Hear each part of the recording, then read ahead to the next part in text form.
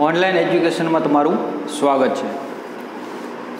આપણે અગિયારમા ધોરણની અંદર કોમર્સમાં પહેલા ચેપ્ટરની આપણે પહેલો પ્રશ્નનો અભ્યાસ છે આપણે કરી ચૂક્યા છીએ, જેમાં ભારતીય તત્વચિંતકો દ્વા, એમને જે અર્થશાસ્ત્રની જે પરિભાષા કે આર્થિક બાબતોનો અભ્યાસ જેમને રજૂ કરેલો છે, એનો આપણે અભ્યાસ છે એ કરી ચૂક્યા છીએ.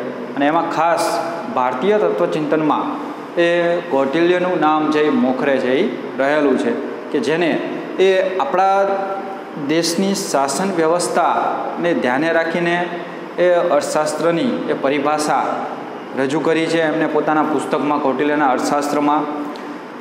તો આ પ્રશ્નમાં આપણે જે પશ્ચિમી દેશોના જે અર્થશાસ્ત્રીઓ છે, એટલે કે અન્ય રાષ્ટ્રો, ભારત સિવાયના અન્ય રાષ્ટ્રોમાં જે અર્થશાસ્ત્રીઓ છે, તો એમને જે અર્થશાસ્ત્રના જે ખ્યાલો વિકસાવ્યા છે, તો એની આપણે અહીંયા ચર્ચા છે એ કરીશું. તો પ્રશ્ન છે આપણો એવી રીતના છે કે પશ્ચિમમાં અર્થશાસ્ત્રના ઉદ્ભવ અને વિકાસ વિશે ટૂંકમાં માહિતી આપો. એટલે કે પશ્ચિમી દેશોના જે અર્થશાસ્ત્રીઓ છે, અથવા તો પશ્ચિમી દેશોમાં અર્થશાસ્ત્રના ઉદ્ભવ અને વિકાસની એ ટૂંકમાં માહિતી આપો. એટલે કે પશ્ચિમી દેશોના જે અર્થશાસ્ત્રીઓ છે, એમને જે અર્થશાસ્ત્રની પરિભાષા સમજાવી છે, એ પરિભાષાનો આપણે અહીંયા અભ્યાસ છે એ કરીશું.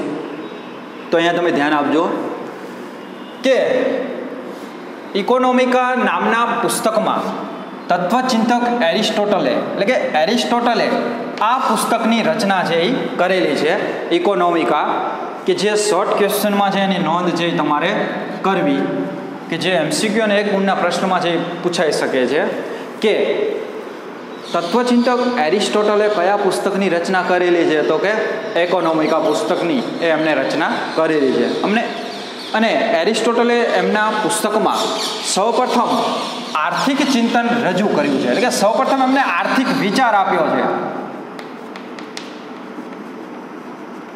આર્થિક વિચાર છે એ રજૂ કરેલો છે કે ભાઈ અર્થ જેવું કંઈક હોય છે. તો એરિસ્ટોટલે પોતાના પુસ્તક ઇકોનોમિકા નામના પુસ્તકની અંદર એ સૌપ્રથમ આર્થિક ચિંતન રજૂ કર્યું છે. એટલે કે આર્થિક વિચારો છે એ રજૂ કરેલા છે. અને સમય જતાં એટલે કે ખાસ ઔદ્યોગિક ક્રાંતિ બાદ એ નવા વિચારોની આવશ્યકતા છે એ ઊભી થઈ. એટલે કે સમય જતાં વિશિષ્ટીકરણના કારણે ઔદ્યોગિક ક્રાંતિ બાદ માનવીના આર્થિક વર્તનનો સ્વતંત્ર વિષય તરીકે એ અભ્યાસ શરૂ થયો. એટલે કે એરિસ્ટોટલે જ્યારે એમના ગ્રંથની, એમના ચિંતનની રજૂઆત કરી, ત્યારે એ માનવીના આર્થિક વિચારો આર્થિક વિચારો, સામાજિક વિચારો, માનવીના વિચારો, એ બધા જ વિચારોને એ સાથે રાખીને એમને પુસ્તક છે લખેલું હતું. પણ એ સમય જતાં એ વિશિષ્ટીકરણ થતું ગયું. એટલે કે આધુનિકતા આવતી ગઈ. આધુનિક જે ટેકનોલોજી છે, આધુનિક જે યંત્રો છે, એની શોધખાળ, જે ભાળ છે એ મળતી ગઈ અને એના કારણે ઔદ્યોગિક ક્રાંતિ થઈ કે જે આપણે સમયગાળો છે, સોળસો પચાસથી અઢારસો ત્રીસ પહેલાં જે એરિસ્ટોટલે જે ચિંતનો રજૂ કર્યા છે, તો ત્યાં સુધી છે એમના ચિંતનો વિચારો છે એ ઉપયોગી સાબિત થયા. પણ ઔદ્યોગિક ક્રાંતિ બાદ, એટલે કે અઢારસો ને ત્રીસ બાદ, એ નવા વિશિષ્ટીકરણ અને આધુનિકીકરણના કારણે એ આર્થિક વર્તનનો એક સ્વતંત્ર વિષય તરીકે એ અભ્યાસ કરવાની જરૂરિયાત છે એ ઊભી થઈ. કારણ કે વિશિષ્ટીકરણ આવતું ગયું ભાઈ જે તે ઉદ્યોગો છે, જે તે રાષ્ટ્રો છે, એ કોઈ ચોક્કસ પ્રકારના ઉત્પાદનમાં એ મોખરે થવા લાગ્યા. જેમ કે આપણે આપણા દેશની વાત કરીએ તો ભાઈ આપણા દેશ જેટલી ચા, એટલે કે સસ્તા ભાવે ચાનું ઉત્પાદન છે બીજા કોઈ રાષ્ટ્ર છે એ કરી શકતા નથી. તેથી આપણા દેશમાં એ ચાનું શું છે? વિશિષ્ટીકરણ છે. તો એ સમય જતાં વિશિષ્ટીકરણ થવા લાગ્યું, આધુનિકતા આવવા લાગી અને ઔદ્યોગિક ક્રાંતિ બાદ એ વિવિધ પ્રકારની આ મોટા મોટા યંત્રોની એ જરૂરિયાત ઊભી થઈ. અને એ બાબતને ધ્યાને રાખીને એ આર્થિક વર્તનનો સ્વતંત્ર વિષય તરીકે એ અભ્યાસ શરૂ કરવાની જરૂરિયાત છે એ ઊભી થઈ. પહેલાં છે એ ઔદ્યોગિક ક્રાંતિ નહોતી. એ પહેલાં એ વિવિધ પ્રકારના અભ્યાસો એ એક સાથે જ એક જ વિષયમાં છે એ કરવામાં આવતા હતા. પણ સમય જતાં આધુનિકતા અને ઔદ્યોગિક ક્રાંતિ બાદ એ આર્થિક વર્તનનો એક સ્વતંત્ર વિષય તરીકે એ અભ્યાસ કરવાની એ શરૂઆત છે એ કરવામાં આવી. તો આગળ આપણે વાત કરીએ કે જે આર્થિક વર્તનનો સ્વતંત્ર અભ્યાસ કરવાની જે જરૂરિયાત ઊભી થાય તો એ બાબતોને ધ્યાને રાખીને એ વિવિધ તત્વચિંતકોએ કે અર્થશાસ્ત્રીઓએ પોતાના અહીંયા એ વિચારો છે એ રજૂ કરેલા છે. તો અહીંયા સત્તરસો ને છોતેરમાં એડમ સ્મિથે અર્થશાસ્ત્રનું સ્વતંત્ર ચિંતન રજૂ કરતું પુસ્તક છે એ લખ્યું છે, જેને આપણે વેલ્થ ઓફ નેશન્સ તરીકે ઓળખીએ છીએ. આ પણ શોર્ટ ક્વેશ્ચનમાં છે, એની તમારે નોંધ છે કરવી કે એડમ સ્મિથે સત્તરસો ને છોતેરમાં એ વેલ્થ ઓફ નેશન્સ એક અર્થશાસ્ત્રની એક અલગ પરિભાષા છે એમને રજૂ કરતું પુસ્તક છે એ રજૂ કરેલું છે. અને એમાં સ્વતંત્ર એ આર્થિક બાબતોનો, આર્થિક વર્તનનો જ અભ્યાસ છે એ કરવામાં આવ્યો છે. તેથી જ પશ્ચિમમાં એડમ સ્મિથને સૌપ્રથમ અર્થશાસ્ત્રના પિતા તરીકે ઓળખવામાં આવે છે. એની પણ નોંધ તમારે શોર્ટ ક્વેશ્ચનમાં છે કરવી કે અર્થશાસ્ત્રના પિતા તરીકે કોણ ઓળખાય છે? તો કે એડમ સ્મિથ. તો એમને સૌપ્રથમ વેલ્થ ઓફ નેશન્સમાં એક અલગ આર્થિક વર્તનનો અભ્યાસ કરતું પુસ્તક છે એ રજૂ કર્યું છે. અને એક અલગ આર્થિક વર્તનોનો અભ્યાસ એમને વેલ્થ ઓફ નેશનમાં પ્રકાશિત કર્યું છે. તેથી તેમને પશ્ચિમી દેશોમાં અને હાલ સમગ્ર રાષ્ટ્રમાં, સમગ્ર વિશ્વમાં એમને અર્થશાસ્ત્રના પિતા તરીકે ઓળખવામાં આવે છે કે જેમને આધુનિક ખ્યાલ છે એ રજૂ કરેલો છે. એટલે કે આર્થિક બાબતોનો આધુનિક ખ્યાલ રજૂ કરનાર એ એડમ સ્મિથ છે એ રહેલા છે. તો અહીંયા એડમ સ્મિથે એ આર્થિક બાબતોનો એક સ્વતંત્ર અને વૈજ્ઞાનિક ઢબે અભ્યાસ કરતું પુસ્તક છે એ રજૂ કરેલું છે. એટલે કે અહીંયા એડમ સ્મિથે એ અર્થશાસ્ત્રને એક સ્વતંત્ર વિષય તરીકે અને એક વૈજ્ઞાનિક ઢબે એમને અભ્યાસ છે એ શરૂ કર્યો છે. અને એમને પોતાના પુસ્તકમાં એ વિવિધ પ્રકારના આર્થિક વર્તનો છે, એ વૈજ્ઞાનિક ઢબે એ સિદ્ધાંતો છે એમને રજૂ કરેલા છે. હવે એડમ સ્મિથે અર્થશાસ્ત્રને સામાજિક વિજ્ઞાનનો દરજ્જો છે એ આપ્યો છે. હવે એડમ સ્મિથે અહીં માનવ કલ્યાણની વાત છે, કરેલી છે. કે અહીંયા એડમ સ્મિથે માનવ કલ્યાણને પણ ધ્યાને છે એ રાખેલું છે. તેથી અહીંયા એ સામાજિક વિજ્ઞાનનો દરજ્જો આપેલો છે કે સમાજમાં અર્થશાસ્ત્ર છે, એ સમાજ ઉપયોગી છે, એટલે કે જે તે આર્થિક પ્રક્રિયાઓ કે પ્રવૃત્તિઓ થાય છે, તો એ ક્યાં થાય છે? તો કે સમાજમાં, માનવીમાં. તેથી અહીંયા માનવ કલ્યાણને અહીંયા એડમ સ્મિથે છે એ ધ્યાને લીધેલું છે. હવે વાત કરીએ આપણે આગળના જે તત્વચિંતક છે. અઢારસો ને નેવુંમાં આલ્ફ્રેડ માર્શલે પોતાના પુસ્તક પ્રિન્સિપલ ઓફ ઇકોનોમિક્સમાં અર્થશાસ્ત્રને એક કલ્યાણલક્ષી શાસ્ત્ર તરીકે રજૂ કર્યું છે. તો આની પણ તમારે શોર્ટ ક્વેશ્ચનમાં છે નોંધ કરવી કે જે એક ગુણ અને એમસીક્યુમાં છે એ પૂછાઈ શકે છે. અને બે ગુણમાં પણ, ત્રણ ગુણમાં પણ પૂછાઈ શકે છે કે ભાઈ એડમ સ્મિથના આર્થિક વિચારો છે રજૂ કરો, તો આપણે એડમ સ્મિથના વિચારો છે રજૂ કરી શકાય. ત્યારબાદ એવો પ્રશ્ન હોય કે માર્શલના આર્થિક વિચારો છે રજૂ કરો, તો આપણે એને રજૂઆત છે એ કરી શકીએ. તો એ રીતના તમારે તૈયારી છે એ કરવી. તો અહીંયા આલ્ફ્રેડ માર્શલે અઢારસો ને નેવુંમાં પોતાના પુસ્તક, એટલે કે એમને એક સ્વતંત્ર આર્થિક બાબતોનો અભ્યાસ કરતું પુસ્તક છે એ રજૂ કરેલું છે, જેને આપણે પ્રિન્સિપાલ ઓફ ઇકોનોમિક્સ એનું નામ છે, એ રહેલું છે. હવે અર્થશાસ્ત્રને અહીંયા કલ્યાણલક્ષી શાસ્ત્ર તરીકે એ માર્શલ છે એ ઓળખાવે છે, કે જે માનવ કલ્યાણને અહીંયા પણ ધ્યાને એ માર્શલે લીધેલું છે. ભાઈ, માર્શલે પણ અહીંયા માનવ કલ્યાણને ધ્યાને લીધેલું છે, તે તેથી તેને એ અર્થશાસ્ત્રને કલ્યાણલક્ષી શાસ્ત્ર તરીકે ઓળખાવે છે. તો અહીંયા માર્શલના મતે અર્થશાસ્ત્ર, માનવીની રોજિંદી, આર્થિક પ્રવૃત્તિઓનું અભ્યાસ કરતું કલ્યાણલક્ષી શાસ્ત્ર છે એ. એટલે અહીંયા સમગ્ર માનવ જીવનને છે અહીંયા ધ્યાને લીધેલું છે ભાઈ, માર્શલના મતે અર્થશાસ્ત્ર માનવી જે રોજિંદી પ્રવૃત્તિઓ કરે છે, અર્થ ઉપાર્જન કરે છે, શ્રમ કરે છે, મૂડી મેળવે છે, સંપત્તિ મેળવે છે, તો અહીંયા રોજિંદી આર્થિક પ્રવૃત્તિઓનું, એટલે કે માનવી જે રોજબરોજ આર્થિક પ્રવૃત્તિઓ કરે છે તો એનું અભ્યાસ કરતું કલ્યાણલક્ષી શાસ્ત્ર છે એ રહેલું છે. તો એની પણ તમારે શોર્ટ ક્વેશ્ચનમાં છે નોંધ કરવી, કોઈ માર્શલના મતે અર્થશાસ્ત્ર કેવું છે? તો કે કલ્યાણલક્ષી શાસ્ત્ર છે એ રહેલું છે. કે જે માનવીની રોજિંદી આર્થિક પ્રવૃત્તિઓનો અભ્યાસ છે એ કરે છે.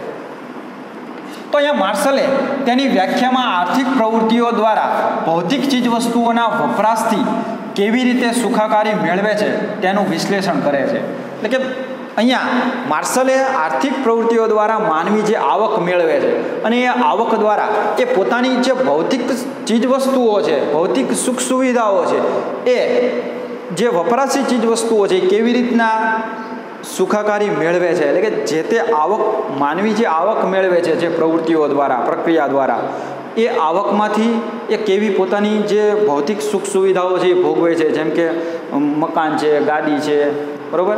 અથવા તો અન્ય કોઈ જે ભૌતિક ચીજ વસ્તુઓ છે, તો એના ઉપભોગથી કેવી સુખાકારી મેળવે છે, તેનું અહીંયા એ માર્શલે પોતાના અર્થશાસ્ત્રમાં વિશ્લેષણ છે એ કરેલું છે. જો કે અહીં માર્શલે માત્ર ભૌતિક માપી શકાય તેવી જ વસ્તુઓના ઉપયોગની જ વાત છે એ કરેલી છે. એટલે કે માર્શલે અહીંયા કેવી વાત કરેલી છે? કે ભૌતિક ચીજ વસ્તુઓની જ વાત કરેલી છે.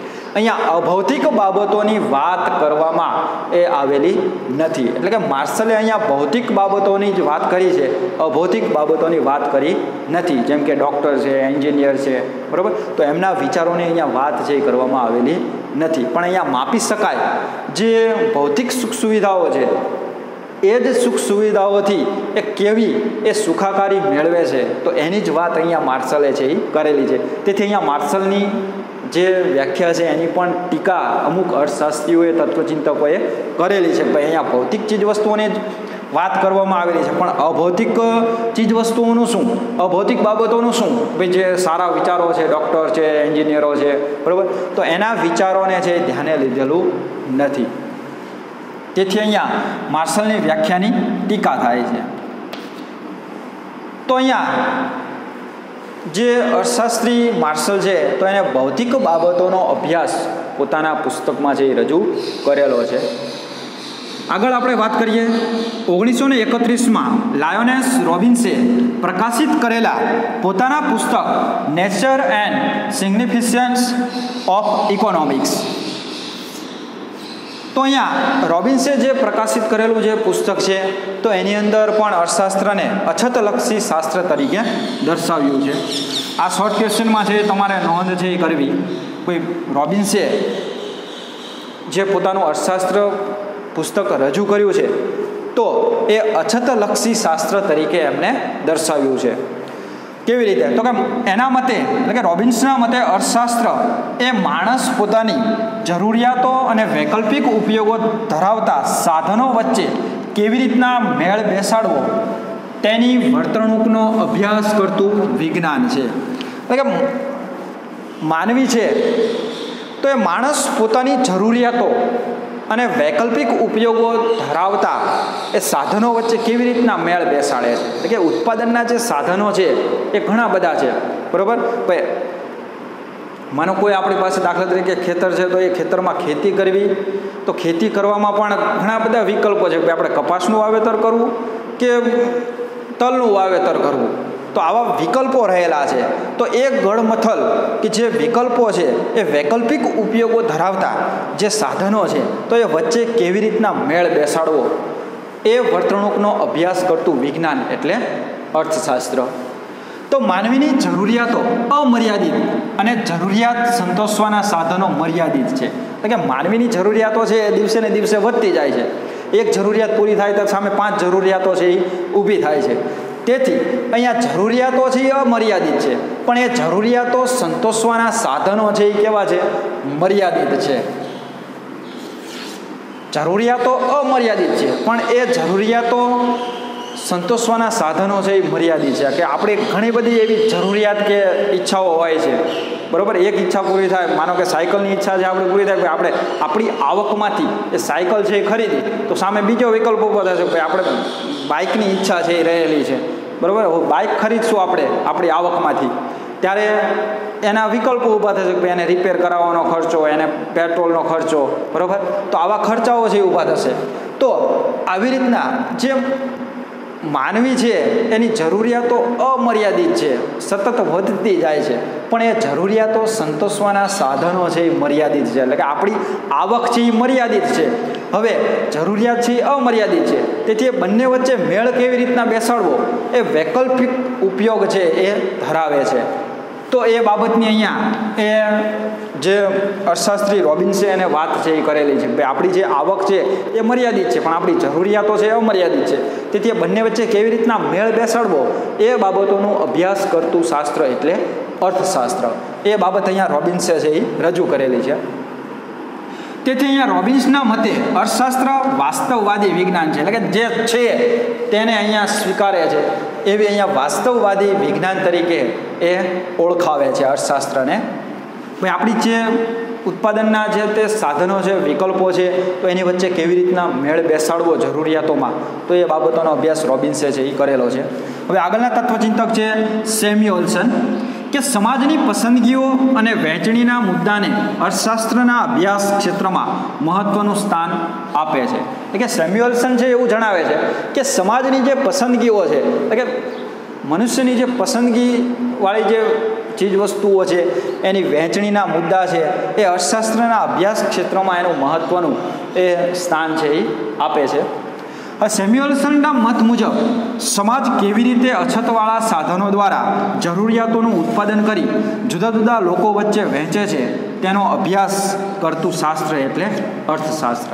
એટલે કે સેમ્યુઅલ્સનના મત મુજબ અર્થશાસ્ત્ર એટલે એવું શાસ્ત્ર કે જે સમાજના જે કેવી રીતે અછતવાળા સાધનો છે, એટલે કે મર્યાદિત સાધનો છે અને માનવીની જરૂરિયાતો છે એ અમર્યાદિત છે. તેથી બંને વચ્ચે કેવી રીતના મેળ બેસાડવો અને ઉત્પાદન કરી, એટલે કે જરૂરિયાતવાળી ચીજવસ્તુઓનું ઉત્પાદન કરી, જુદા જુદા લોકો વચ્ચે, એટલે કે જરૂરિયાતમંદ લોકો વચ્ચે કેવી રીતના વહેંચણી કરવામાં આવે છે.